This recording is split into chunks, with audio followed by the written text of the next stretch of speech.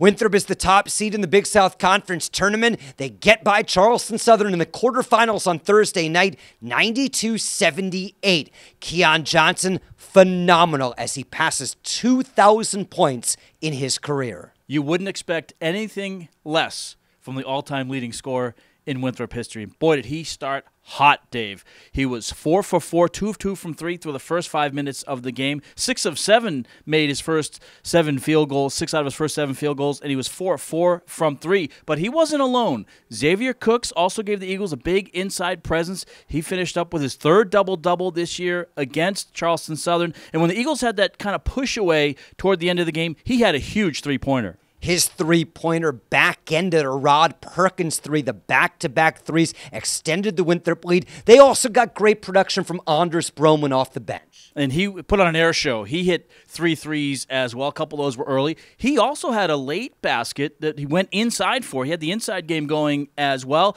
You look at what Tevin Prescott did inside. He had a big dunk inside. Joshua Davenport played well defensively, also had some big buckets. But Dave, the 14 made three pointers sets a school record for the Big South Conference tournament. The team that held that record previously was the 2006 2007 team. They beat VMI on this floor. 12 made three pointers was the previous record. That team was coached by Gregg Marshall. He won 99 games in his first five years at Winthrop.